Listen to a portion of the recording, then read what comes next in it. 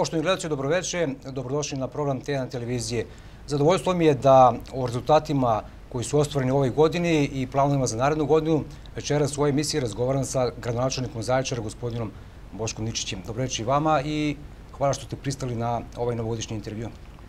Dobroveče i naravno pozdrav svim vašim gledalcima uz, evo na početku razgovora, sve najlepše želje za u novoj zapravo 2018. godini i ono što jeste svima sigurno najbitnije, puno zdravlja, sreće, uspeha, ljubavi i nadam se prosperiteta ovog našeg grada, tako da eto, neka to bude uh, jedan na priglo, prigodna čestitka za početak ovog našeg razgovora. Inače, što se tiče zahvalnosti, pristajem kad god imam vremena na intervjue svima, pa naravno i vama. Ajde da krenemo od ovih lepih vesti. Vi ste pre neki dan držali konferenciju za novinare, rekli ste da je napokon budžet grada Zaječara stabilizovan, da smo sada likvidni, prvenstveno zahvaljujući pomoći koja je stigla iz budžeta e, vlade Republike Srbije. E, zatvorene su one likvidacije, bilo ih je čini mi se 10 ili 11. Tu je samo otišlo oko 80 miliona dinara. Plaćen je dug, dug Štrabagu od 45 miliona dinara, plaćena je voda, plaćeno je grenje stambenom i tako dalje. Školama, dakle, onog dana, školama, da, onog dana je bilo na računu 182 miliona, stiglo se i sa platama, radnici gradske uprave primili su pre neki dan drugi deo za novembar. Dakle, dobre vesti pred kraj godine. Ne samo radnici gradske uprave, nego svi oni koji se nalaze na direktnim korisnici budžeta. To je, moram da kažem, pored radnika gradske, gradske uprave, kojih je nekih sada oko 180, još blizu uh, e, 700 radnika, računajući biblioteku, sve ustanove, muzej, uh, oblutak, uh, obdaništa, sve, svi oni koji su zaposleni i koji direktno primaju plati iz budžeta budžeta grada. Namirene su obaveze čak od 2013. 14. godine koje nisu isplaćivane kad su u pitanju škole, a tiču se jubilarnih nagrada, tiču se putnih troškova i tako dalje, iako ja i dalje ostajem pri tome da to su obaveze koje ne bi trebalo da plaćaju lokalne samouprave zbog toga što nisu poslodavci. U nekim slučajevima zakon je potpuno jasan da takve obaveze treba da isplaćuje poslodavaca, ali jelen, ako je tako rečeno, mi smo sve to izmirili i zaista mm, neposredno pred ovaj razgovor sa vama sam imao priliku da pregledam obaveze koje smo imali po ugovorima, na primjer sa humanitarnim organizacijama, sa društvenim organizacijama, sa udruženjima građana, da je tu 100%, iako realizacija budžeta će biti evidentno negde oko 75% i najviše u prethodnih 3 ili 4 godine procentualno, ali ima stavke koje smo posebno vodeći računa kad su u pitanju e, socijalna davanja, kad su ustanove koje se tiču invalidnih lica, onih kojima je potrebna pomoć društva, da tu izmenimo obaveze, ugovorne obaveze u 100% iznosu. Ono što me ne raduje, na primjer, a radili smo u prethodnom periodu da su obaveze prema sportskim društvima i udruženjima realizovane procentu od 30 do 50, negde i 100, ali zbirno gledano nije ni polovina para koja je bila predviđena za sport. sport u sport mora da se ulaže i dalje i ulagaće se u sve sportove. Znači, pre je bila prozivka, ne znam, zbog rukometa, sada vidim da je tu najmanja realizacija kad se procentualno pogleda od onoga što je dodeljeno, ali nije bolja situacija ni kod drugih i moramo da povedemo. Dobro, to je sad ide drugačije zbog zakona o sportu. Jeste, ali kažem vam, ako su već projektno dobili i određeno je novac, trebalo je i trudit ćemo se da iduće godine to za koliko su oštećeni budu namireni s tim što ćemo voditi računa.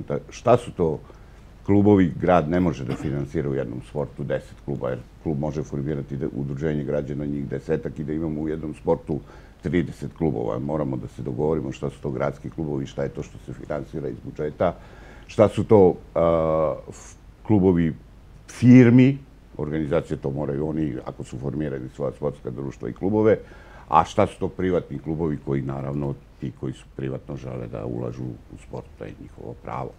Mi moramo da imamo u svakom sportu onaj klub koji je gradski klub i koji grad ulaže i veliki sam protivnik da deca koja su u gradskim klubovima bilo šta plaćaju da bi mogla da treniraju i da se bave nekim sportom. Mi smo, ako sam ja dobro izračunao, u dva navrata, čini mi se, iz budžeta vlade Republike Srbije dobili oko 430 miliona dinara u ovoj drugoj polovini godine. Odlično ste izračunali, 435 miliona, tačno, računajući 55 miliona koje smo dobili pre tri dana, četiri, Za kablove. e, koje su istog trenutka transferise na fabrici kablova da bi vratili ono što su oteli ljudima kroz ja moram da kažem ne, ne nezakonitu taksu, nego nezakoniti način obračuna retroaktivnog takse koja je već bila plaćena. Ta taksa postoji, tu taksu je uvela Republika, ta taksa se tačno zna kako se obračunava i ti ljudi su platili tu taksu i za 2010. 11. i 12. i onda je neko došao pa im preračunao da to nije dovoljno i uzeo ljudima još 76 miliona koja su volšebno nestala u nekoliko dana sa računa e, budžeta grada i to jeste bio problem i ta nepravda je morala da se ispravi i stigla i zahvalnost danas i to će biti podeljeno medijima e, verovatno u toku narednih dana gde se najviše rukovodstvo fabrike telefonike iz Dobili smo tu informaciju već danas. da, zahvaljuju e, na tome što smo zaista pokrenuli odmah to pitanje. Ne smemo da dovedemo takvu fabriku od koje bukvalno živi grad e, Zaječar, ali ne samo to, fabriku, nego i poverenje budućih investitora da u ovom gradu neko može, kad mu, kad mu padne na pamet da bilo koju fabriku na taj način bukvalno izraketira i da uzme para, pare i se računa. To ne sme da se tako, to je loša poruka koja je poslata i zato više investitori nisu ni, ni dolazili, niti je za četiri godine u ovom gradu otvorena jedna fabrika, samo su se zatvorili. Mislim da je ovo poruka koja daje obećanja da dve, u 2018. godini oni koji su se do, došli već i raspituju se ovde za investicije, budu sigurni da će maksimalno biti zaštićeni od bilo kakvog e, vida reketiranja, a da ne pričamo o tome da ćemo izaći čak u, susret sve ono što grad bude mogo da im da, samo da se otvore radna mesta i da nam se deca koja rade sada u sličnim fabrikama po Slovačkoj ili bilo gde u zapadnoj Evropi i u Evropskoj uniji vrate i da počnu da rade ovde kod nas. Pričat ćemo o ekonomiji, ali malo čas kad smo govorili o ovom novcu koji je stigao iz Beograda, naravno hvalim što su dali i nemam ništa protiv, ovaj, neka daju, ali da li ćemo mi moći ovaj, naredne godine ili nekih narednih godina sami da zarađujemo i da se sami izdržavamo, da nam budžet bude solventan bez pomoći e, iz Beograda ili negde sa druge to, strane i da, da. ne čekamo da mraza makarom bio Ne, i ne, predsjednik nemojte to gledati tako, tako, nije dobio samo Zaječar novac. Vi ste videli da je pre dva, tri dana Leskovac dobio 450 miliona, da je Kragujevac dobio 400 i nešto, pre toga je dobio milijarde, da su mnogi gradovi dobijali e, ta transferna, varedna transferna sredstva. Jedan od prihoda koji se planira gotovo u svim lokalnim samoupravama jeste i taj, pored transfera, ta pomoć Republike koja je postala uobičajena. To, to je na, isto naš novac. Nemojmo da Logično bi stvaramo... bilo da ide transferno, A, ja mislim da zakon o transfernim sredstvima treba da se uskoro menja. Nije logično da Knjaževac ima veće transferna sredstva nego Zaječar. on dobija na kontu nerazvijene opštine. Pa da, ali kažem vam, s druge strane vidite koja je situacija bila nastala u Zaječaru, koja je ovamo i onda to nije logično, ali a, ovo i služi da bi se balansiralo, ovi varedni transferi služe da bi se, to, ovo su varedno u stvari transferna sredstva, da bi se tako balansiralo neke stvari. Drugo, šta mi sad, mislim, nema tu nikakve tajne. Zaječar je bukvalno bio opljačkan grad i moralo je da se pomogne i hvala što su pomogli i kao što vidite, mi te pare nismo odmah potrošili. Te pare se još uvijek, kad sam rekao pre neki dan da smo imali na računu 180 i nešto, evo, zadnji dan u, u, u, u ovoj godini smo imali 162 miliona i isplatili smo puno toga. Isplatili smo izme- među ostalog uh, zadnjeg dana radnog u ovoj godini sredstva koje je 2014. godine tadašnje rukovodstvo podiglo 20 miliona iz trezora, što ne pada na pamet nikome, to postoji mogućnost, ali nikome nije nikada meni za 10 godina nije palo na pamet da takvu mogućnost iskoristim za likvidnost 20 miliona da bi isplatili nekakve plate ili ne znam šta.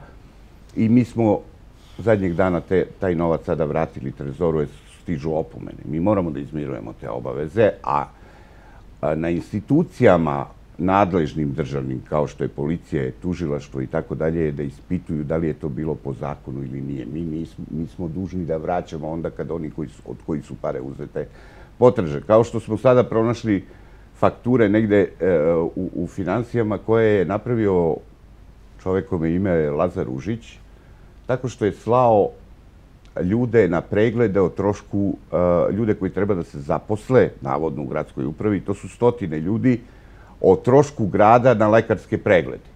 I sada nam je stiglo od medicinskog centra i nastaje tu spor neki možda sutra je oko mrtvozvodstva i svega ostalog jer nije izmiren dug, a taj dug je vrlo uh, zakonski problematičan da izmirite 400.000 za ljude koji nisu zasnovali radni odnos, zna se da ne može da plaća firma u kojoj ne rade, nego tek kad se zaposle mi možemo, mi imamo redovne preglede za komunalne policajce i tako dalje, ali to su ljudi koji rade u upravi. Ne možete za nekog koji te, tek treba da se zaposli da pravite, a, a to su radili.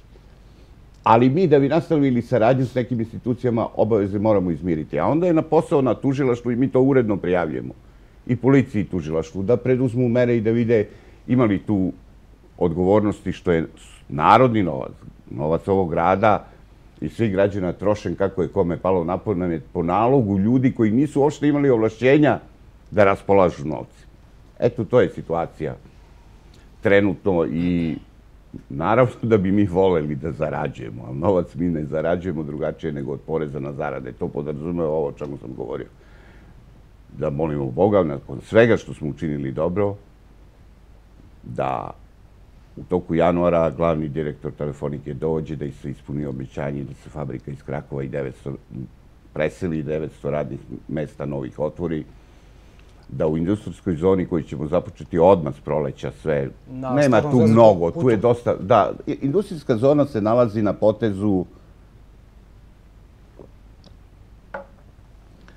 nekadašnjeg strelišta prema Zvezdanu, evo da to sad razotkrijemo, tu je planirana i nije to više velika tajna, jer je plan, generalno urbanistički plan već na javnom uvidu, pa se vidi gde je planirana.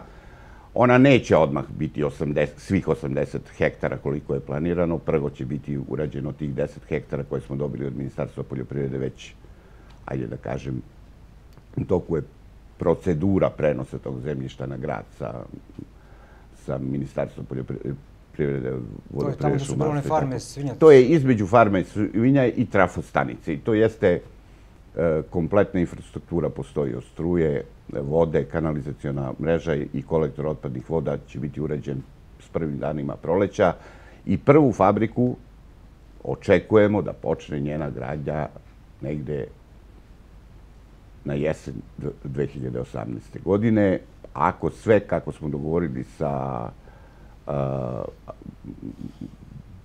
nekada je to bila nacionalna agencija, sada se zove e, Razvojna agencija, RAS, Razvojna agencija Srbije, koja je i dovela zainteresovane potencijalne investitore koji su pored nas obišli još dva ili tri grada. Ovde su bili oduševljeni prezentacijom. Mi smo držali Mi smo držali zatvorenu prezentaciju upravo zbog toga što ime firme molili su da ne se ne objavljuje. Evo, čime se bave? rekao sam čime se bave već na konferencijama za štampu.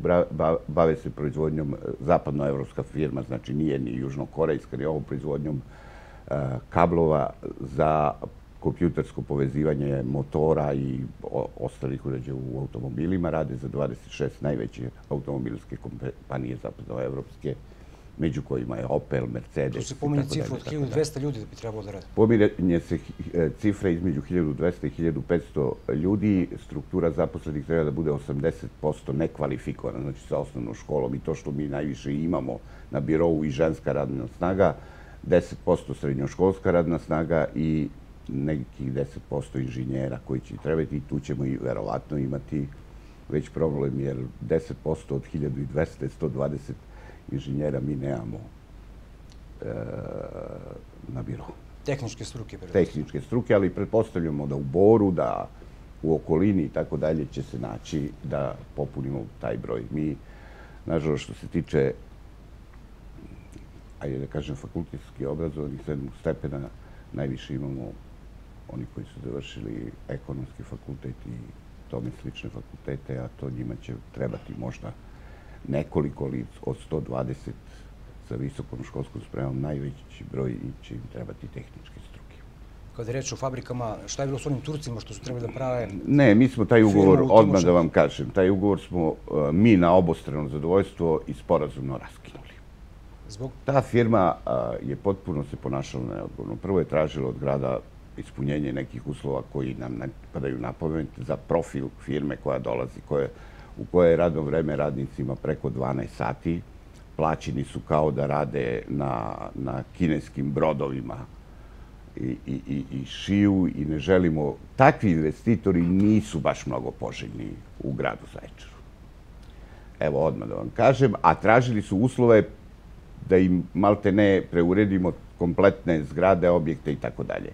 Drugo, da su oni uzeli, onda ne bi imali ovaj prostor koji sada imamo za veliki retail park koji treba da se gradi tu gde je Timočanka i bit će ovih dana, kao što znate, Skupština je donela odluku i bit će raspisan konkurs za to zemljište proda. Od prodaje tog zemljišta samo grad očekuje blizu 600.000 eura u budžet direktno sredstava, a u tom retail parku će biti zapošljeno više ljudi nego što bi bilo zapošljeno u ovoj u ovoj fabrici. A bavit će se čime? Da, park je, bit će butici, prodavnice i tako dalje, sve ono što pripada jednom velikom retailu.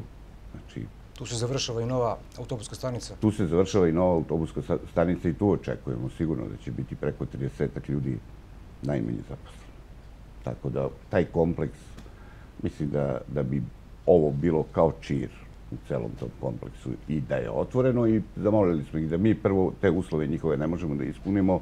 S druge strane, mislimo da naši radnici po tim uslovima koji oni žele da, da im moguće ne treba da rade u Zajčaru. Vi ste pre neki dan, e, kad je reč o razvoju ovog grada, pomenuli i voćarstvo kao jedno od grana poljoprivrede. Rekli ste da to može biti jedna od naših razvojnih šansi sad moram da vas pitam, bilansirano je svega 15 miliona za poljoprivredu u ovom novom budžetu za 2018. godinu iz našeg budžeta, recimo u Knjažicu čak 40, iako je on duplo manji nego naš budžet.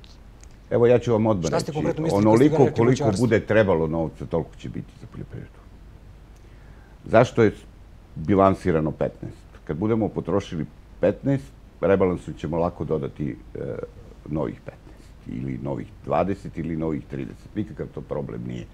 Međutim, mi imamo jedan lep dogovor sa Ministarstvom poljoprivrede, već su razgovori u toku i tako dalje. Biće toliko subvencija od strane države da mislimo da ni za ovih 15 neće, neće biti potrebe. Ako se dobro uključimo u programe, kao što znate, pre neki dan je ministar Nedimović najavio i oko obezbeđivanja mehanizacije, oko obezbeđivanja sadnice, oko obezbeđivanja sistema, stoje nam neiskorišćena sredstva iz Ujedinjenih Arabskih Emirata upravo za sisteme za navodnjavanje, da uopšte neće biti potrebno da mi angažujemo sredstva građana Zaječara kao posticajna sredstva. Ali ako bude trebalo, naći će se još. Prioritet nam je voćarstvo, ali nećemo zapostaviti, zaboravili ste da ove godine nije samo deljene sadnice.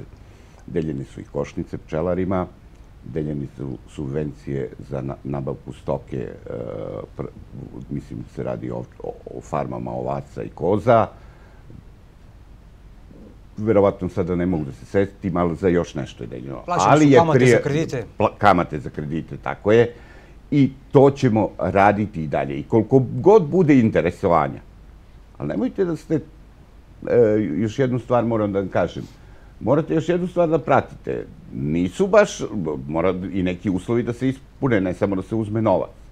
Ti koji ispunjavaju te uslove, nema i baš mnogo na konkursu. Ja bih voleo da što veći broj počne da se vraća, da koristi to svoje zemljište da, ili da kupuje i pravi posede koji su ozbiljni, od kojih mogu da žive čitave porodice ili da se zaposle još ljudi. U jednom trenutku, kada Delta Agrar zaključi to što želi da zaključi s nekih 800.000 hektara voćarske proizvodnje, vi ćete, uh, ovde će biti deficit uh, sezonsko radne snage, ja to tvrdim. Jer za od, a, a, a sezona će trajati, znate da se i donosi novi zakon o sezonskim radnicima kojim oni dobijaju gotovo ista prava kao i bilo koji drugi radnici. Vi ćete sezonu od, od rezidbe pa do branja plodova, ne znam šta sve ima u voćarstvu, prskanja i tako dalje. Sezona traje 7-8 meseci. Mislim da ste čak i stručnjak iz oblasti poljoprivrede, to znate bolje od mene. Tako da ti ljudi će biti uposleni malte ne sem zimi, kompletno, kompletno vreme. Gde ćemo naći toliko? O, o, o, rez, samo rezidba hiljadu hektara a, a, jabuka i trešnje koje će biti prevashodno. Vi, ono što je najava, ja kontaktiram dnevno s ljudima iz Delta grada, da oni podižu i hladnjaču od 50.000 tona. Vi znate da imamo sada hladnjaču koja je kapacitet 1000 tona, 1000 tona, pa je to ogroman objekat. Možete zamisliti kolika je hladnjača od 50.000 tona. Njihovo uveravanje je da svako ko se pridruži tome što oni proizvode, jabuku, trešnju i ovo, zasade, počne te zasade, te vrste i trešanja i jabuka da proizvodi, da im oni garantuju siguran otkup. To je bitno. Strategiju napraviti. Mislim da moja pomoćnica iz te oblasti koja je u, u, u, u gradskoj upravi izuzetno dobro zna da napravi taj program i zna da sarađuje sa njima i mislim da ćemo strateški, iako ja imam i dalje žal zbog gašenja Agencije za ruralni razvoj, to mora da kažem, njoj to trebalo da bude posao i još ljudi je trebalo tu da se uključi i da se tamo vrši edukacija i obuka, malte ne 365 dana u godini poljoprivrednika šta, kako, s kim povezati i tako dalje i da moramo napraviti tu jednu nešto slično tome u jednom trenutku. Malo nas ograničava broj zaposlenih, ali ćemo i to na neki način smanjit ćemo negde, pa neka bar petoro, šestoro ljudi se samo tim bavi. Mislim da u proizvodnji hrane jeste naša budućnost. Naravno da nećemo ni povrtatsku proizvodnju koja je ovde dosta zastupljena da e, zapostavimo ali moramo znati u šta prvo ulažemo. Šta je to što, pa onda drugo, treći četvrto. Sve što se tiče poljoprivrede, što se tiče proizvodnje hrane, hrane je dobro. Moramo posticati razvoj zadrugarstva. Mislim da nam prerađivačka trebamo tražiti što više prerađivačkih firmi koje će doći da otvore ovde ili da naše zadruge postanu ti prerađivači. Posebno govorimo o povrću i tako dalje. Neki krajevi Srbije počeli su da žive čitave porodice, čitava naselja, čitava sela, na primjer od proizvodnje ajvara ili tako nešto. I ima plasman na tržištu, da, džemovi, ajvari i tako dalje. I to ćemo posticati i tekako takve vrste zadruge.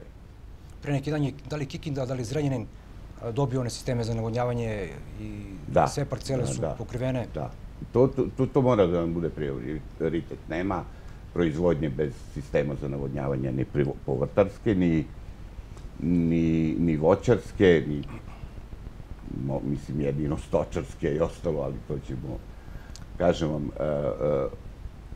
uh, radit ćemo čitavu 2018. godinu posvetit ćemo tome ako treba da se urade projekti ove, pa da 2000, sve sistematično ne može za jedan dan, ali do kraja ovog mandata, do 2021. godine, mislim da možemo da pokrijemo čitavu teritoriju tamo gde treba sistemima i za navodnjavanje i da podstaknemo da već počnu prvi rezultati tog ulaganja da se, da se vide na terenu. Kada smo malo pre govorili na početku o budžetu, samo kratko, kakva je situacija sa kreditima i sa otplatom rata? U dan su otplaćeni, znači otplaćene su glavnice. Koliko nam je budžet opterećen?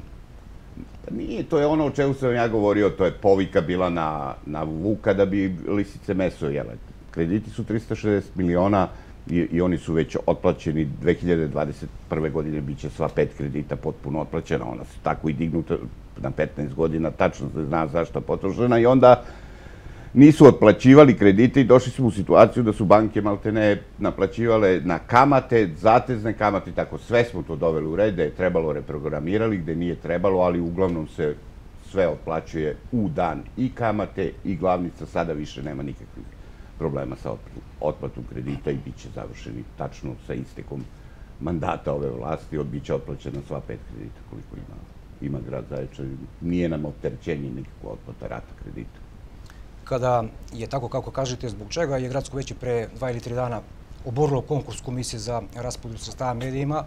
A to, a to moram da vam kažem, ma to pa nema veze sa parama. Ali apsolutno nikakve veze nema pa sa parama, jer sad ću vam objasniti zašto. E, nije naša krivica što smo zatekli stanje kako smo zatekli. Dok smo došli do medija i dok su počeli povici da treba, e, rešavali smo u tom trenutku mnogo važnije stvari. Redovnost isprote zarada, e, milion stvari, nam, morate znati, novac je stigao, ova pomoć je stigla u, ja ne mogu da se setim tačno, krajem oktobra ili u novembru. Tako da do tada mi smo krpili ono, živeli smo od tako što smo na, namirivali u dan blokade, Rino i sve ostale obaveze.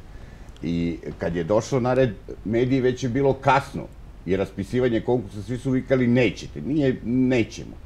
Nego postoji neka procedura koju je zakonodavac dok smo formirali komisije, dok je raspisan taj... Došli smo na kraj godine. I novac je raspodeljen kako je raspodeljen. Ne mislim da je dobro, odmah ću vam reći, ali to nije moj problem. Ja sam insistirao, a svedoci su mi ljudi koji rade sa mnom u toj oblasti, pre svega Elena Petrović, ali i ostali, da sam ja insistirao da u toj komisiji ne bude nikog iz uprave. Iako, iz uh, gradske uprave, iako imamo pravo na članove. Rekao sam neka budu sve novi. Ali ti, uh, uh, ja bih volao da je vaša televizija ili bilo koja snimala kompletan nekoliko sati rada tog nezavisnog i tako dalje tela. Da u prvom krugu odbacuju projekte, jer su nepotpuni, jer su ovakvi, jer su onakvi, a onda preost, taj novac koji je preostao vade iz tih koji nisu dobri projekti, pa im dodeljuju, pa na kraju ispadne da ti što su bačili u prvom krugu kao najgori ili ne ispunjavaju uslove, dobiju više para od onih koji su u prvom krugu dobili novac kao dobri projekti i tako dalje. Ako mislite da je to korektna raspodela, ok. Ali ja mislim da ne trebamo tako da se igramo s narodnim Ali oni imaju pravo na to. Kako oni nemaju pravo na to. Oni imaju pravo da predlože. I u njihovom zapisniku se vidi šta su oni radili. Molim vas da uzmete zapisnik i da dobro proučite. Da su projekte koje su bacili, vraćali u trećem krugu i raspodeljivali novac. Sa svim primetbama koje su u prvom krugu dali na te projekte. I to nije pošteno. I to nije korektno, ali to nije razlog. Razlog je da smo mi s medijima razgovarali, većinom ovih glavnih, hajde da kažem, medija koji drže medijsku scenu u gradu i svi su rekli da im ne odgovara do marta da podnose izveštaj, pa da tek onda, posle toga, možemo tek da raspišemo konkurs za narednu godinu, jer ne smemo da raspisujemo u januaru konkursa da nije završen. A ovi su tražili iz komisije da se do 31. marta, inače konkurs je besmislen ako se do 31. marta ne produži. Dok bi vi podneli izveštaje kao medije, pro, prošlo bi april mesec. Dok bi mi raspisali svu ovu proceduru od mesec dana, prošlo bi maj mesec. U junu bi tek bila raspodela novca. A dogovorili smo se da u januaru i februaru za 2018. raspodeljujemo novac. Kako da to izvedemo? I uh, onda bi klali vola za kilo mesa. Zbog 2 miliona koliko se raspodeljuje, ne bi raspodeljili 10 i nešto koliko smo predvideli za iduću godinu. Svi ste rekli, svi, većina je rekla da je bolje da ovih 2 miliona ne raspodeljujemo, a da raspodelimo odmah u januaru i to ćemo uraditi da raspišemo konkurs odmah posle Srpske nove godine, da završimo do februara da, da podelimo novac. I da se zna kvartalno u martu izveštaju, taj, pa ne znam, u junu, pa u septembru, pa u kako već... Ali to će biti novac iz budžeta za 2018. Znači 2017. nula dinara... Već je donelo odluku da ne, da je, ali Argumenti za donošenje te odluke su bili i konsultacije sa me, većinom medija u gradu. Ne vidim šta je tu problem, šta će biti, ko, ko, šta je tu protiv zakona, ništa nije. Zakon ne, ne obavezuje, on predlaže, preporučuje, mi ćemo poštovati onoliko koliko imamo novca, čak smo, mislim da smo sada izdvojili više nego što, bez obzira, to što mi imamo 160 miliona, tih 160 miliona ima mnogo još obaveza koje su neizmirene i tako dalje. Nije to sad, ajde, deli, ja hoću da se ponašam sa tim novcem ve, veoma štedljivo. Nisam odobrio zato što smo dobili 380 miliona, op, nijedan radnik uprave, pa ni ja da imamo službeni telefon, nisam odobrio ni jedan službeni ručak i to se sad neki pokušavaju da nađu na sve načine gde je taj novac. Nema ga, ni, nema tih računa. Ne može niko da ide u kafane da troši novac ne može niko da, da mu se plaćaju telefoni službeni i tako dalje, sve dok bude situacija još nije stabilizovana kako treba da bude stabilizovana. Nismo kupili mašine da opremimo preduzeće koje formiramo, nismo nabavili opremu, ima još mnogo nam treba para. Kad to budemo uradili, onda ćemo malo da, da popustimo u tim merama štenja. Mi smo juče formirali dva nova preduzeća, Timok održavanje i urbanizam i izgradnja. Čime će se oni baviti, gdje će im biti sedište, kako će biti organizovani? Pa no, to, to je sve definisano, videli ste odlukama i delatnosti, ovo to je bilo neophodno da se formira, ovde se više nije znalo ko šta radi. Pre svega, halom, sportskim objektima, brojnim, ne samo halom sportova, skijalištem, popovom plažom, imamo na desetine terena u, u gradu i selima, znači igrališta i tako dalje, dečiji tereni, zelene površine i ovo, gazdovalo je preduzeće koje se zvalo DO.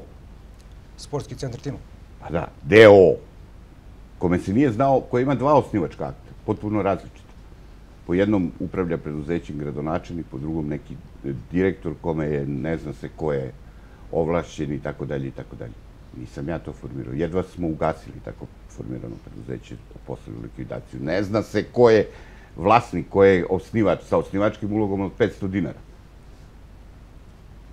Tako da smo morali da, da uvedemo red, formirali smo to preduzeće održavanje koje mislim da će Gradska uprava moći da nema pravo da, na... da registruje. Gradska uprava inače nema pravo da registruje DOO. Pa nema, između ostalog nema pravo. Ali registrovali su. Šta ja tu mogu? To treba pitati Agenciju za prirodne registre koja sada nama vraća a, a, registraciju preduzeća zato što naziv postoji u nekom tamo vojvođanskom mestu sličan, a pre toga je registrovala preduzeće koje nije smela da registruje, to je ovo deo Timo, kako se već zvalo. Da vam ne pričam koje su obaveze napravljene i da je najveća šteta kroz likvidaciju i stečaj tog preduzeća će trpeti naša javno preduzeće kao što je vodovod, stambeno i tako dalje, a šta da radimo? A, s druge strane, ovo preduzeće na tržištu misli da može vrlo dobro da ostane. Pre svega, usluge koje su do sada za nas radili privatnici i to ne mogu da kažem baš kvalitetno. Pričamo o održavanju, ne, ne, pričamo o, o, o preduzeću Timok održavanje, a kad to kažem da je nekvalitetno, pričamo o održavanju puteva, na primjer, što će oni sada raditi, ovo granja, šiblja, posebno na e, putevima druge kategorije prema selima i tako dalje. Drugo, bacali smo sve to, ovo preduzeće je zaduženo da od toga pravi sečku, koju ćemo sutra koristiti za zagrevanje, e, pošto kotlove pri renoviranju e, srednjoškolskog centra, znači svih četiri, sve četiri srednje škole, bit će izgrađeni kotlovi koji će raditi na sečku i pa biomasu da, ali sečka je kao, to je on, zapravo taj otpad koji ostaje od rezanja pored puteva granja, od košenja trave, od svega toga.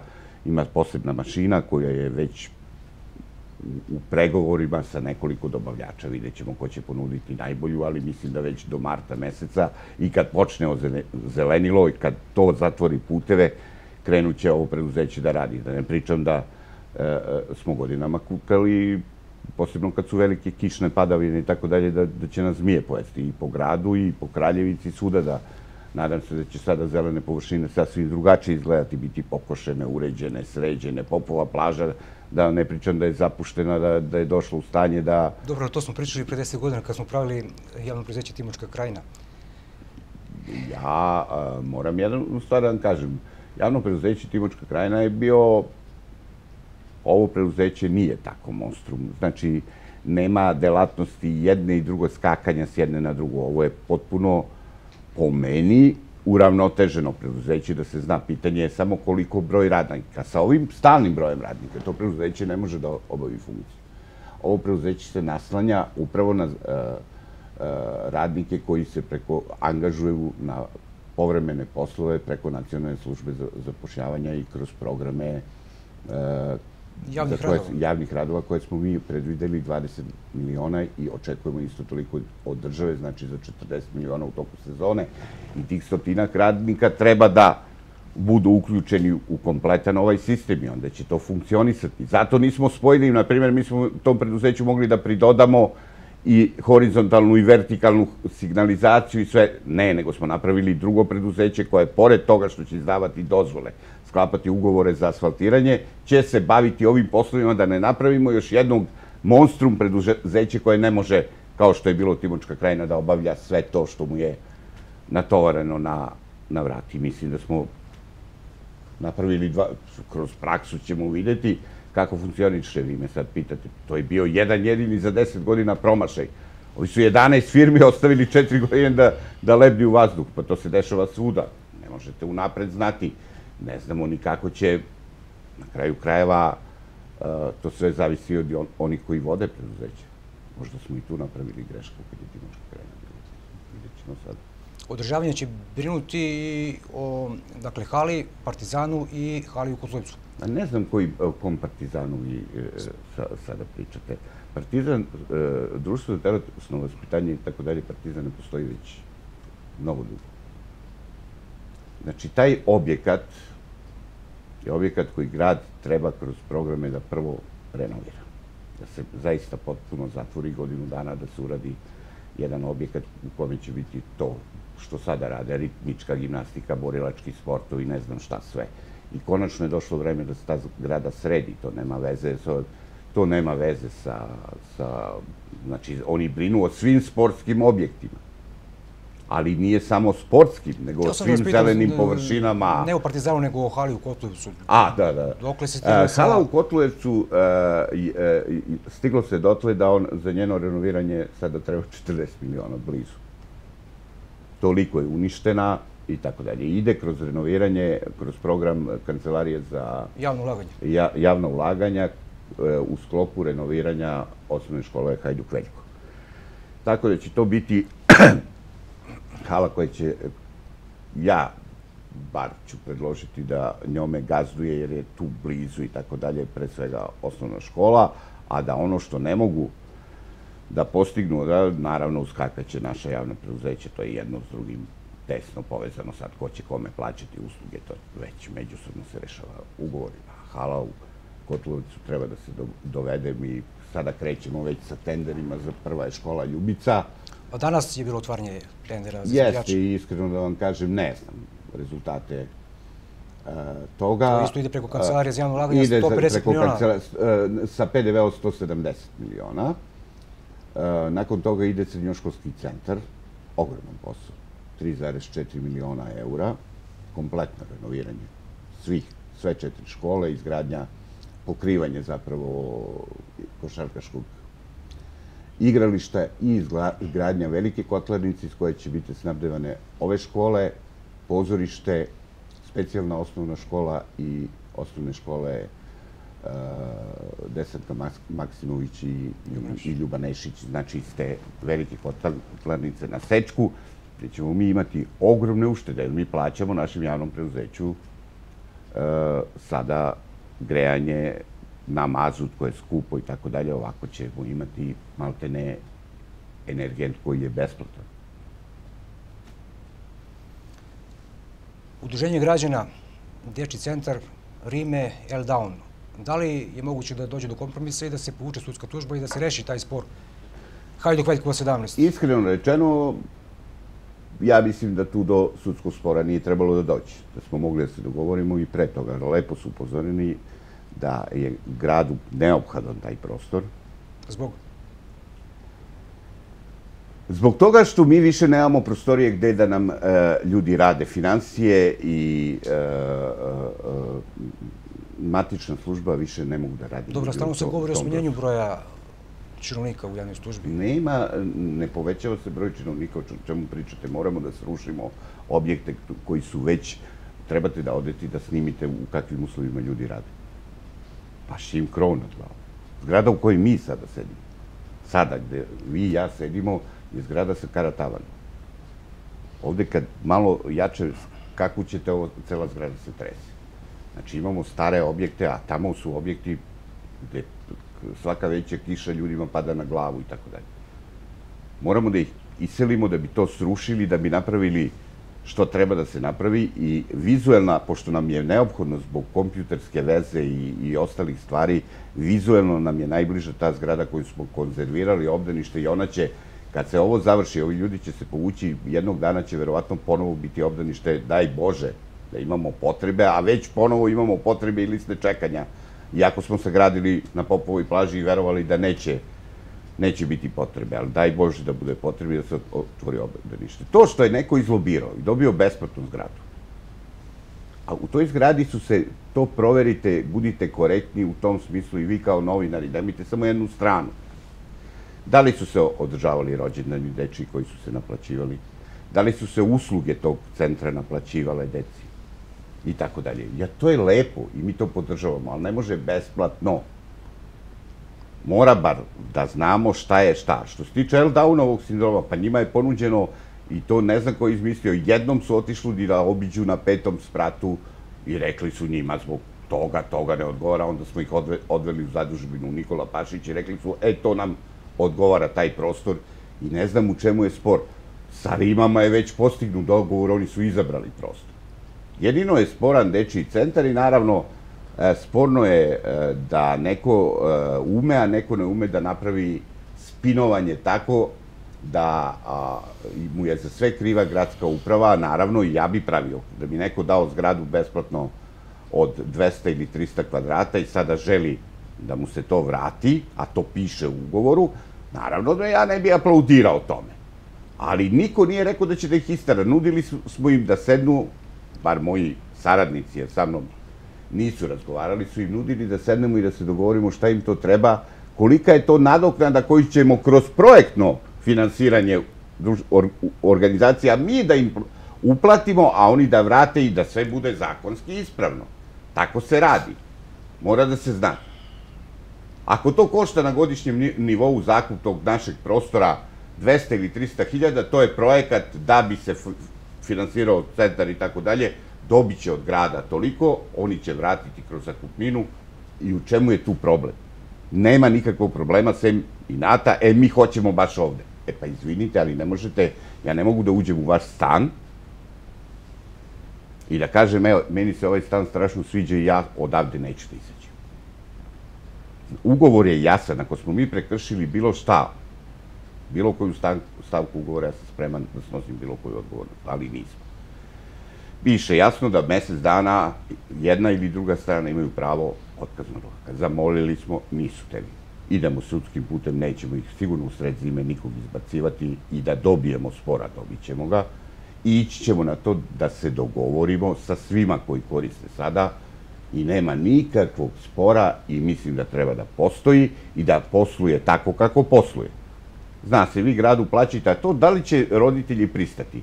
Da oni dobijaju donacije iz budžeta, evo, na stolu mi je papir, koliko para za dečji centar, da naplaćuju roditeljima usluge, da se organizuju rođendani, a za to postoji u gradu dve, tri, pet ili deset igraonica, koje upravo to treba da radi i da žive kao privredni, jer te igraonice zapošljavaju dvoje, troje, četvoro ljudi koji tu rade i tako dalje.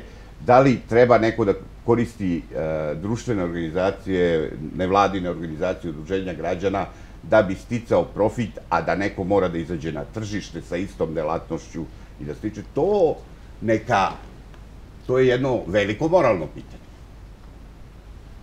Ali znači nema nikakvo, ja mislim da taj sudski spor nije trebao da se pokrene, ali mora, mi smo bili primorani kako drugačije da dođemo u posled imovine koju je neko zauzio.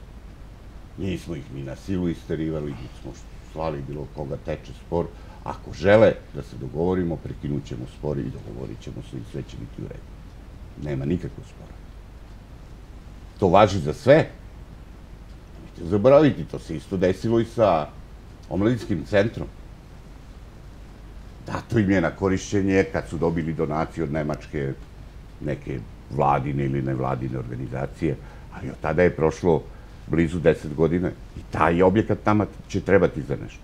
Ne može besplatno onolika zgrada. A da se tamo organizuju koncerti koji se naplaćuju, a da se tamo organizuje razne stvari koje se naplaćuju. Nije korektno prema građanima, to je imovina građana, ja moram da ja i moji saradnici i cela gradska uprava, da ne bi sutra došli u situaciju kad dođu neki novi da nam pišu kao što mi pišemo sa krivične prijeve nama, moramo da se ponašamo u skladu sa zakonskim propisima. Pa dobro, može se dogovori neka kirija koja je po nekoj Apsolutno. nižoj ceni Ja, od ekonomske. može i to. Ono što, sve što može što zakon e, dozvoljava. Evo, to smo uradili kad je u pitanju e, oko medija. e, Opština je vlasnik i na- ona zgrada u Ljubnešća 38, gde smo mi bili godinama tamo. Ogromna zgrada, takođe. I mo, moram vam jednu stvar reći. Tu postoji, to je žalosno, 1100 i nešto kvadrata. Zgrada u kojoj je bila e, nekada televizija Zaječar, pa Timočka televizija i tako dalje, sada ne može da se stavi u funkciju. Dug koji je ostavljen za struju privatne firme, već znate koja je, da ne, ne pričam, mi ne smemo da platimo jer nam duguju i ovako 17 miliona. S druge strane, njima ne mogu da naplate jer su navodno u stečaju, ne znam čemu su već. Ta zgrada nema struje, ta zgrada propada svakim danom i sve više će propadati, a da ne možemo da pred, preduzmemo nikakve mere da rešimo taj problem. Jedini način je da pronađemo zainteresovanog zakupca koji će pristati da plati dug kao privatno lice prethodnog vlasnika za struju i da nakon toga tomu mi priznamo kao ulaganje i tako dalje i tako dalje. Inače, ovako će stajati i propadati onako divna zgrada koja može za sto stvari da se iskoristi. Meni je žao što stoji preko puta uh, kafana, kafana Hajduk Veljko takođe. Mesto kultno u kome su ste svi mi i sedeli i okupljali se ovo. Ali je situacija takva kakva jeste, da ne može da se reši vlasnički odnosi. i Sad se odjednom pojavljuje raznorazni da je restrukturiranju jeste bilo, nije bilo i tako dalje. I mnogi objekti, prelepi objekti će nam propasti upravo zbog, zbog tih stvari. Ali trudit ćemo se što više toga da sačuvamo od starog zaječara. Pa opet ste iskoristili izraz monstrum preduzeće, mislim da ste govorili o Da, Timočkoj krajini. Napravili smo pozorište sada novo, prvo je ono ugašeno, napravljeno, znaju to gledalci koji prate redovno naš program, ali je spojeno sa Centrom za kulturu. Vi e, znate o čemu se radi tu? Ja znam, ali kažete je- Da, pozorište je zatvoreno jer pozorište je sistematizacijom predviđeno da ima 34 zaposlenih. Imalo 50. Pozorište je imalo 45 zaposlenih. Tako što su sudovi vraćali, a oni nisu menjali sistematizaciju i sada više i ne može da se menja zbog ovoga što je jedini način je bio da se to reši, da se zatvori i otvori novo pozorište. Umeđu vremenu kad smo sagledali funkcionalnost i to smo razgovarali sa ljudima koji se malo razumeju to. Rekli su nam, pa vi imate e, e, ustanovu koja je funkcionalna u godini otprilike 8 od 12 meseci. Pozorište. Pa jeste tako. Jun, jul, avgust i deo septembra pozorište ne radi, bukvalno. I deo zime takođe ne radi. Dobro, ne samo naše, to i u Beogradu tako je svuda. Ne, ne, naravno, ali Beogradska pozorišta izdržava 2,5 miliona ljudi, tak, 5, 6 ili, ili koliko su već na budžetu grada, nisu ni toliko, Zvezdara teatar nije na budžetu grada. E, Na budžetu grada je Beogradsko dramsko pozorište i ne znam šta, na budžetu Republike je Narodno pozorište, a imate pozorišta koja nisu na budžetu. Za grad veličine Zaječara ne možemo praviti stotinu ustanova. Ne. Trudili smo se samo jednu stvar, da ne izgubimo status profesionalnog pozorišta i nećemo ga izgubiti. Zato smo stavili da bude prvo narodno pozori, ustanova Narodno pozorište e, Timočke krajine, jer se tako zvalo. Ja sam mislio da stavimo Zaječara, jer niko od ovih iz Timočke krajine neće da učestvuju u finansiranju toga. To je pokušano i pre smo- 7-8 da. godina, pa nije ništa.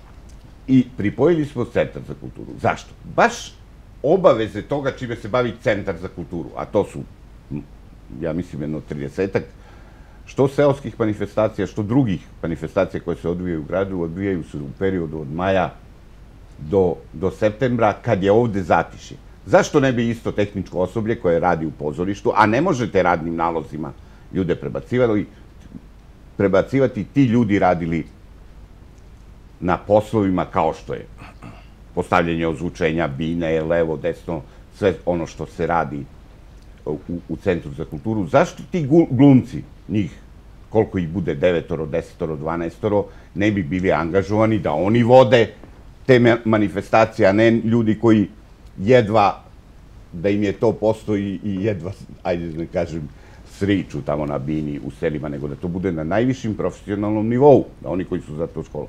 I zato smo spojili te dve i mislimo da će to biti funkcionalno. I ukupno od 45 i ovamo 16 sveli smo na 37 To znači da će njih 25-6 dobiti otkaz? To znači da će ili dobiti ili biti preraspoređeni, nisu tu svi iz umetničkog sektora preraspoređeni u neke od ovih firmi drugih koje se otvore. Sledeća tema je artistske česme. Ali vi morate jednu stvar da shvatite. Mi imamo 824 dozvolje. Zaposleni na budžetu? Tačno. E, na budžet, ne, ne, ukupno, računajući tu i, i, i vodovod i ove koji nisu na budžetu. U javnom u sektoru sektor. Zaječar može da ima 824.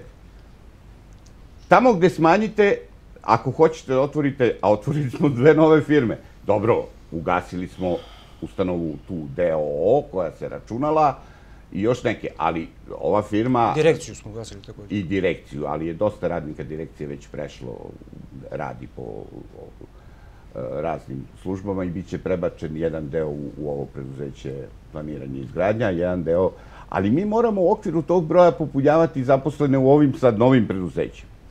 Nema veze da li je to iz sektora umetnosti. Mislim da je nama mnogo bitan i sektor infrastrukture, isto toliko koliko i nadogradnja umetnosti i tako dalje i tako dalje. Pitanje da li nama treba, ali to je regulisano drugim zakonima, toliki broj zaposlenih u biblioteci.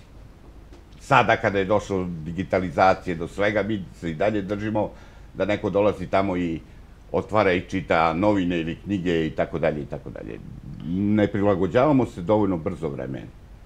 Mislim da, na primer, muzej ima optimalan broj i da tu treba čak poraditi sa novom turističkom organizacijom na tome da se vidi da naprave ne sjedinjenje, ali spoj šta jedni rade, šta drugi na promociju, pre svega, promociji pre svega Felix Romolijane, ali i svih manifestacija i događaja u ovom gradu. Rekoh ja pre minut e, artetske česme. Vi ste pričali da ćemo napraviti, formirati radnu grupu koja bi da. se bavila ovim, e, ovom temom sistematski. Strateški. Pre neki dan ste govorili o tome, a u kontestu Heinikena, i najavili razgovor sa novim direktorom koji treba da stigne januara u Zaječar iz Austrije i da ćete s njim... No, znaš, on će stići, nažalost, stići će u Beograd, doći će u Zaječar, verovatno 18. januara je primao predaje između mhm. starog direktora Grka i novog direktora Austrijanca, pozvani ste, verovatno će biti na taj događaj i mediji pozvani u Beogradu, je to, nažalost, sedište svega onoga što Kako nije čista proizvodnja je u Beogradu. Ja sam rekao šta je tu stavi i razgovarao sa ljudima, zapravo sa predsednikom udruženja Zaječarske česme, gospodinom Pogorčićem, da mi nemamo nikakvih sukova, da mi imamo zajednički interes, to je da spasimo nešto što se zove prirodni resurs Zaječara. To veliki prirodni resurs jeste i ta voda ekstra kvaliteta ili kako zovu plemenita voda koju pivara sada koristi nekih 23 litara na sata, dozvoljeno e, e, u sekundi, a dozvoljeno im je 28 litara. Pa to kad pomnožite, podelite, vidjet ćete koliki resurs oni koriste koji predstavlja 80% verovatno sirovine za proizvodnju tog jednog od najprodavanijih i sada najrasprostranjenijih e, proizvoda u zemlji, to je zaječarsko pivo. Niti plaćaju brend, naziv grada Zaječar. Niti plaćaju tu vodu niti ulažu u nešto da zaštitimo kao što su artetske česme. Oni kao imaju interesa i kao spremni su da u tom delu učestvuju, ne može samo u tom delu. Dovoljno je. Ja sam u prvom razgovoru koji sam imao s njima rekao, ajde od tih 50 i nešto česama koliko imamo, ajde da svake godine pet obnovite. Za 10 godina ćemo sve. Znači, treba ponovo cevi, su verovatno već zarušavaju se bušotine, cevi treba nove, da napravimo lepši izgled ili da renoviramo te česme i tako dalje i tako dalje, da grad vidi da ima od vas neku koriste, ne samo da budemo vaša sirovinska baza. I to je ono što treba zajedno da radimo. I to udruženje koje treba tim i video sam spremnost njihovu da se posvete potpuno tom, tom problemu, ali i mi kao gradska uprava i svi kao grad i da vidimo šta je, koji je to doprinos pivare i koji je to interes pivare koja odavde sve vuče da ulaže petostruko ili da se to struko više novca u Beer Fest nego u Zajčarsku, na primjer, gitarijadu. Ne tera ih niko, ne morate.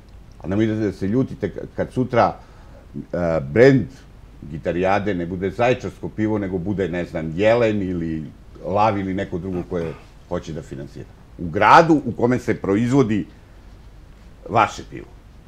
Nije to nikakav problem, niko ih ne, ne može na silu, na, terati na silu, ali možemo u dogovoru sa vladom Srbije da pitamo, pa dobro, ali hoćemo li mi dobiti nešto od svih e, Mladenovac i ne znam, gradovi tamo koji, Lazarevac i ovi koji imaju štetu od kopova, e, rudnik i tako, Obrenovac i ostali, dobijaju ogroman novac zbog toga. Šta Zaječar dobira? dobira u Majdanpeku od rudne rente sledeće godine su bilansirali u budžet 270 miliona dinara. Mi ništa. Isto je to. Isto je to. Znači, neko koristi sirovinu, kao što tamo koriste, ne znam, tu rudu za proizvodnju bakra i ovde neko koristi našu sirovinu za proizvodnju piva. I mislim da me razumete o čemu pričam. I treba da razgovaramo, ako ne, ne možemo da nađemo za, e, zaista zajednički jezik, a mislim da ne postoje stvari za koje ne može da se nađe zajednički jezik, onda se primenjuje drugi metodi. A drugi su metodi, mi imamo i u statutu grada već odrednicu po kojoj neko ne može da koristi ime grada ako, ako nije dobio saglasnost Skupštine grada. Krenut ćemo, ali ja ne bih volao da dođemo do toga. Da počnemo da primenjujemo te metode, da vide koliko košta, a koliko će ih koštati izmena brenda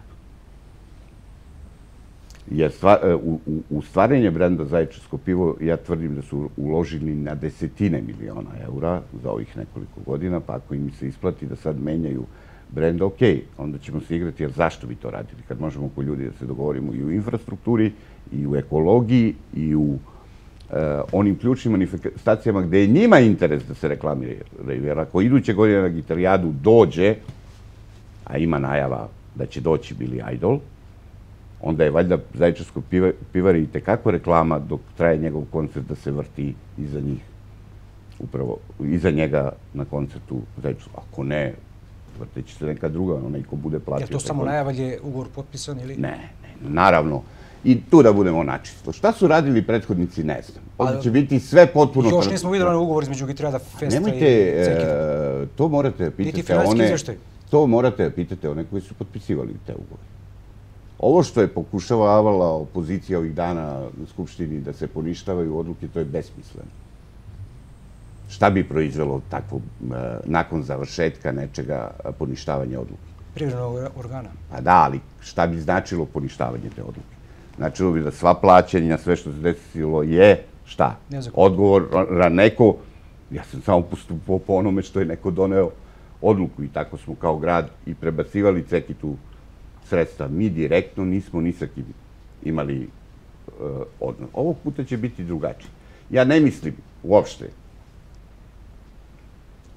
da u zemlji ima kvalitetniji neko da vodi gitarijadu nego što je to ja, to je, a to je moje privatno mišljenje, vidjet ćemo kad se podnesu programi i tako dalje, nego što je to komuna, Maksa Ćatović i ostali, Željko Vasić, očigledno mi ne, ne treba da se igramo skrivalica da su ti ljudi bili tu i da su oni bili nosioci organizacije svega toga. Ko je formalno bio ta organizacija Gitarija Fest, Fest ili tako dalje, jo.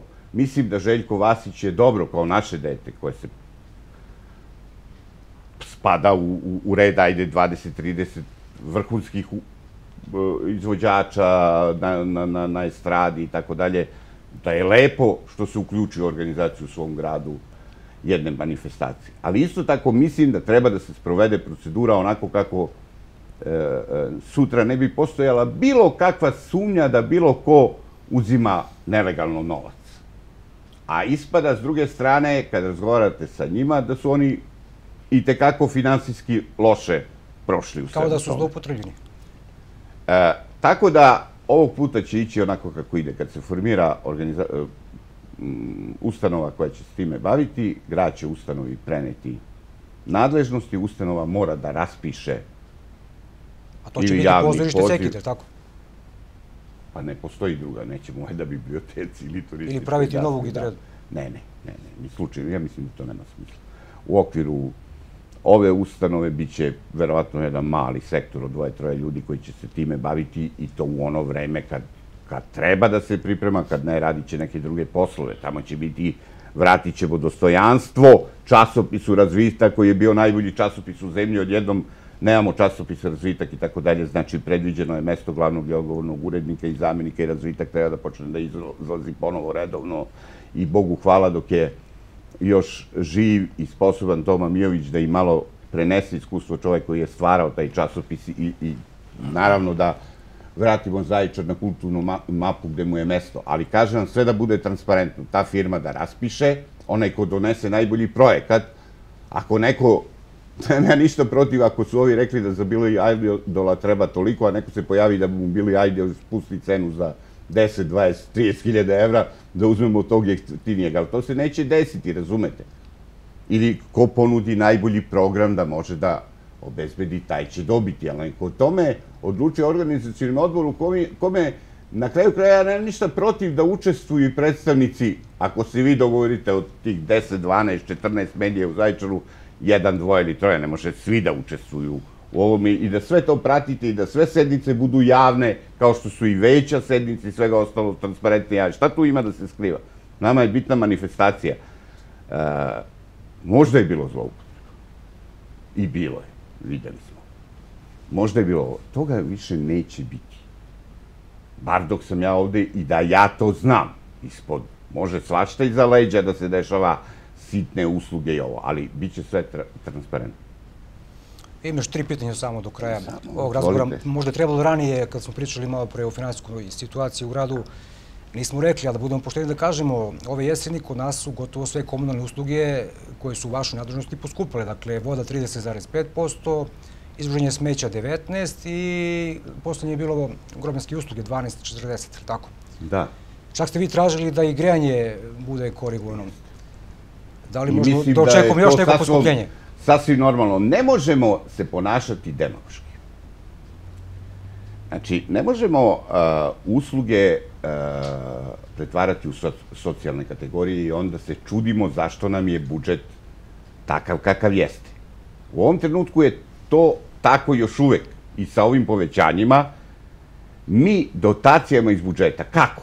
Sad ću vam reći. Tako što za škole, ustanove i sve ostalo mi plaćamo vodu 160 i nešto dinara, da bi građanima ta voda bila 50 i nešto dinara. Pa jel vam nije to malo ekonomski glupo? Mi taj budžet ne punimo, ne znamo odakle, nego od para istih tih građana. Znači, mi moramo nešto da poskupimo, da bi mogli da platimo vodu koju deca mora da se umivaju, peru i tako dalje u školama troše, i tako dalje, i da im platimo da bi ta firma ne bi propala. Jer ta firma treba da menja cevi, vidite da non stop pucaju, treba, odakle ta finansijska ulaganja nego od para ili od proizvoda, a njihov proizvod je voda, koji treba da ima odgovarajuću tržišnu cenu, zna se koliko košta i pitao sam direktora otvoreno na Skupštini. Rekao Kažite 120. koliko... Toliko košta. Toliko, nažalost, košta. I ja vam sad drugo pitanje postavljam. A šta da je 120? Ja trošim konstantno između 9 i 11 kubika vode. To je, ljudi, 11.000 litara mesečno. A ja, pošto ne pijem vodu sa vodovoda, jedan kubik, Ne pijem nije. Da je, jedan kubik plaćan koliko je jedan litar i po flaširane vode. Je to pošteno? Nije. I onda mi kukamo, ne može da se peru kola, ne može da se za- zalivaju bašte i tako dalje zdravom pijaćom vodom. I onda je skupo. I onda je kupnjava. U tome je problem. To isto važi za grejanje. Ja se ne grejem na daljinsko grejanje ove godine sam kupio 25 metara drva. Izračunajte koliko to podelite na mesece, pa ćete vidjeti da li je skupo ili jeftino grejanje u stanovima u Zaječaru.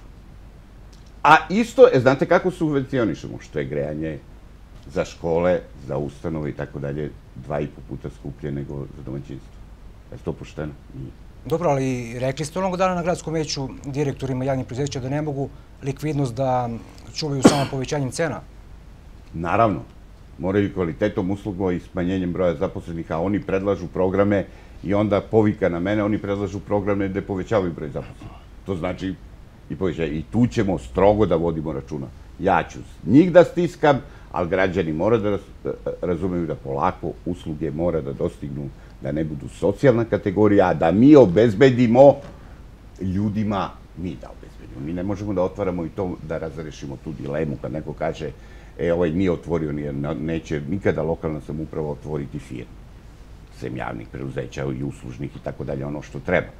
Ali da ja e, e, e, nemam tu strepnju da će krenuti idiotske prozivke zašto sam morao da odem u Poljsku, da se sretnem sa generalnim direktorom telefonike i da dogovorimo i da ga ako treba pet puta idem da molim da fabriku preseli iz Krakova u Zaječar, da odem kod Nema, oho, izlete se, da odem u tu firmu koja je dolazila da gleda da otvori tu fabriku sa 1200 radnika i da sa njima, ako treba deset puta da ja ne idem, e, evo proverite, da li postoji jedan putni nalog od 5.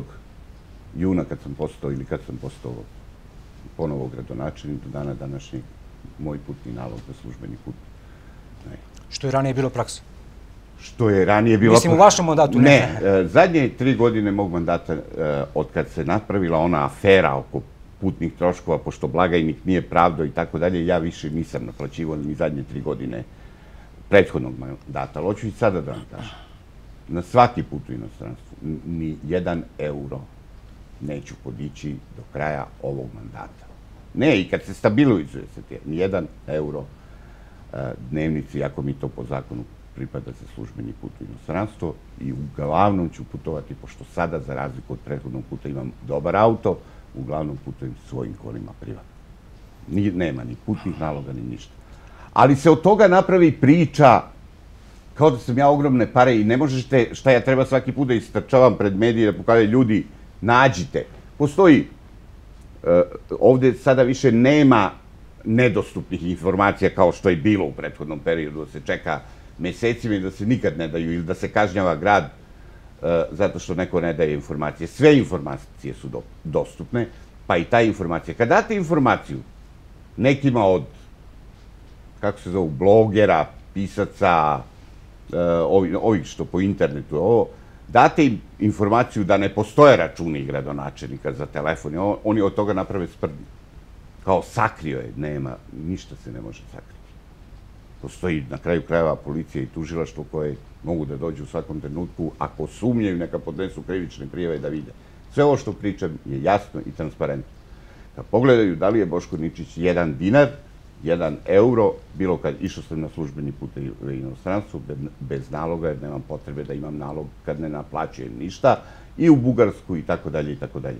Nikada nisam opteretio, niti ću opteretiti. Pomenuli smo sport u toku Iako to smatram da nije u redu i da je demagog. Dobro, pomenuli smo sport u toku ovog razgovora. Vi ste predno mesec dana, mislim, kad ste delili one dresove futbolskim klubovima, rekli na pitanje jednog od bivših futbolera u Zaječaru, i to odličnih futbolera, da Timovku nema spasa. Iako on 2019. slavi 100 godina. Rekao sam istinu. Nema spasa, jer mi ne možemo da damo ni jedan jedini dinar Timoku dok je u blokadi, takav je zakon o sportu. Zabranjuje finansiranje klubova koji su u blokadi. Ne postoji poprečan način da obezbedite 62 miliona koliko su ovi prethodni zadužili i ja ne znam, kad su došli momci koji su preuzeli klub, ja sam im rekao, momci, od onog trenutka kad vi budete deblokirali klub i ovog grad će vam dati novac onako kako odredi komisija koja se time bavi i nemam ništa protiv da finansiramo i da spašavamo timog, ali u ovoj situaciji niko neće da odvoji toliko novca, 500.000 eura, zbog nečih tamo iživljavanja, pljačke i krađe u tom klubu, da mislim da ništa neće biti strašno ako napravimo novi klub koji će, koji će se zvati Zaječar Timok 1919. To je bio naš predlog da nastavimo tradiciju, da ništa ovo, a nažalost klub ništa za tih stogodišnjicu, sem zlatne plakete ne bi dobio, to smo dobili od FIFA, odgovor iz Futbolskog savjeza Srbije, da je bila je neplasirana neka lažna priča o milion eura i tako dalje, ne postoje te pare. Bilo bi dobro da postoje, da, možda ne, bi nekako tavorili do 2019. pa kad bi lego taj novac da se... Ne može, nažalost, uništili su klub, kao što su uništili, ja, meni je bilo za plakanje kad su ugasili bez ikakve potrebe rukometni klub Zaječar koji je u tom trenutku i ženska i muška selekcija bila u Superligi. Sada bi se stiglo do tog stepena takmičenja, silne pare mora da se podvrže, a, a imali smo to u ruci. Ali to je to. I na kraju, naravno, doček na trgu oslobođenja. Koliko će nas koštati? Ja, sam, ja ne znam zašto u to postoji ikakve sumnje. Isto je transpa, vrlo transparentno. Sve može da se proveri i u januaru, i u februaru, i u martu. Šta plaćamo, šta ne plaćamo? Ne plaćamo ništa. Znači, uh, OK Band svira džabe, vidjeli ste njihov dopis, uh, vidjeli ste ugovor, vatromet ne plaćamo, uh, ovo što će biti deljeno narodu obezbedila je Delta Agrar, juče su dali 25 praseta, koje su je ispeko naš član i čovek koji ima pečenjar u velikom izvoru, Znači, pregledano je meso od strane, zaklano je u ovlašćenoj klanici, to je sve platio Delta Agrar, njihova reklama će biti gore. Šta mi plaćamo? Plaćamo, e, nećete verovati. A pominju se iglo, pingvin... Pa to, kakve to veze ima sa dočekom nove godine? Neki uro, dva miliona. Pa, kakve to veze ima sa uh, novom godinom? Pa to je uh, U svakom katalogu ćete naći taj iglo i tog pingvina koliko košta. Pingvin košta hiljadu i 300-400 eura po katalogu firme koja je dobila, ispalo je zbog ove beogradske jelke, niti smo znali koja je firma, ta firma se javlja izgleda u čitavoj Srbiji. Sada, da, Kep, Kep, Kep Light ili Tako kako se već zove, nebitno je, da su oni isporučioci svuda, verovatno, za, niti sam učestvovao, rekao sam, ajde da nabavimo nešto novo, ali najviše novca je potrošeno što četiri godine su ostavili da nam trule ukrasi koje smo kupili ranije u prethodnih od 2005. pa do 2013. godine su ostali u magacinu i strulele su one... Žičke. E, pa ne, to su ona creva sa lampama. I onda je najveći deo te nabavke od 2 miliona upravo ta creva, pa su ljudi dan i noć radili iz četiri preduzeća, iz stambenog, iz pozorišta i gore iz e, tog deo Timog, da bi zanovili i stavili nova creva i da bi imali ovako lepo ukrašen grad kao što imamo. Znači, e, to bi koštalo desetine i desetine miliona da smo kupovali novu rasu. Mi smo samo uložili ova sredstva da nabavimo ta creva za ovo, a iglo i, i, i pigvin, ja ne znam da li zajedno koštaju negde oko 600.000. Eto. To je sve što je nabavljeno i svake godine ćemo kupiti po nešto. Valjda je lepo što se deca slikaju svaki dan, valjda je lepo da nam grad lepo izgleda za novu godinu, a izmirili smo, opet vam, nismo ostavili da ljudi nemaju plate, da su firme i dalje u stečaju, da se on, nego smo sve to izmirili onda i kupljeno je još dodatno rasveta kad su menjali, kad su postavljali ukrase tamo gde su izgorele sjelice, ste dve, tri korpe, i to nas nije koštalo, moram da kažem. Nekada je Ja se sećam, zadnji put 2013. godine nameštanje i skidanje ja, tih ukrasa je koštalo džavonju. Po 4 ili 5 miliona. Znači, ove godine nam je elektroprivreda Srbije pomagala sa dve korpe džabe. Naša korpa Marte ne od do juče nije mogla ni da radi, pošto iz firme u firmu je senja. Oni su uglavnom namestili tu rasvetu i verovatno će nam pomoći, ja se zahvaljujem ovom prilikom, zaista generalnom direktoru Grčiću koji nam je onako na reč, na, na ovo izašao shvatajući kakva je situacija u gradu, jer smo mi prethodno ispali korektni. Sam otišao na prvi razgovor s njim, ja sam rekao, ajde da reprogramiramo, danas imate čoveka s kojim razgovarate, svaki reprogram duga će biti plaćen u sekundu, ne u dan kad dođe na naplatu. Prethodni su pisali reprograme na reprograme i godinama nisu isplaćivali ništa od Mi smo počeli, prvo, rekao mi, ako do tog i tog datuma uplatite, ne znam, bila je cifra nekih 7 ili 8 miliona, u situaciji kad nam nije još Republika dala novac, ja ću verovati da ste vi čovek od reči. U dan kad smo se dogovorili je isplaćeno i sada imamo vrlo korektnu, korektnu saradnju, da jedni drugima verujemo i tako dalje i pomažemo se. I e, kažem vam, mnogo bi novca otišlo da nam nisu ljudi, shvatajući da nismo krivi zbog onoga što smo, što smo zatekli u gradu. Tako da ja vas molim kao novinare, istraživače, kad prođe nova godina, do marta, aprila meseca, niko neće da vas čeka, proveravajte svaki nedelju dana postoje li neke fakture koje su se pojavile, a vezane su za novu godinu, za koncert, za vatromet, za bilo šta, ovo što sam vam rekao. Naši, znači, vino nam je poklonjeno, rakija nam je poklonjena, koja će biti kuvana na skveru.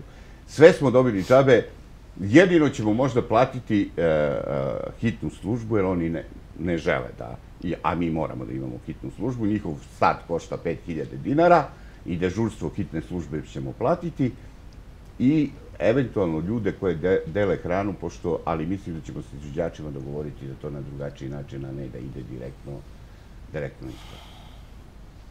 Inače, cela nova godina, kompletna organizacija, da smo plaćali, boga mi, košta da bi, oh, oh, ali ne plaćamo.